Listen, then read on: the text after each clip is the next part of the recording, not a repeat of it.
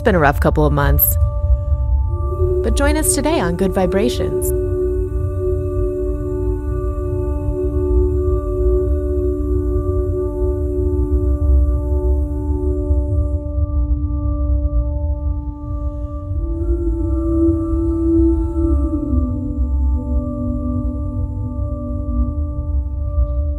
On today's episode, professional psychotherapist Emily Roberts answers your questions on what to do when anxiety, social distancing, and quarantine start to get to you. And also stay tuned to watch Sharina Gutierrez cook with her family. As she gets creative, she shows you how to raise your vibration with food and family, even in social distancing.